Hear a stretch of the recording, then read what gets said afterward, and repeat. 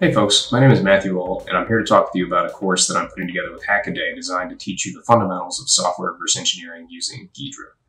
I currently work for Caesar Creek Software as a security researcher and also offer training and consultation through VoidStar Security. You may have seen some of my previous work on Hackaday and on my GitHub pages where I reverse engineer various embedded devices in an attempt to explain the concepts behind hardware reverse engineering. But enough about me. Why bother to learn about software reverse engineering. Well, maybe you want to learn more about how a proprietary binary blob works that you don't have source for, or you want to start participating in capture the flag competitions and learn more about the information security industry through solving these kinds of puzzles and challenges. Throughout this course, we plan to teach you the fundamentals needed to start your journey with reverse engineering software.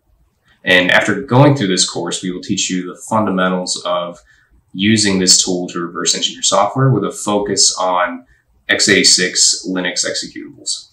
Each session is going to be focused around practical exercises and have additional exercises for you to perform outside of class and then reviewed later during the office hours where you'll be able to ask questions and kind of expand upon the things we talk about during the class sessions.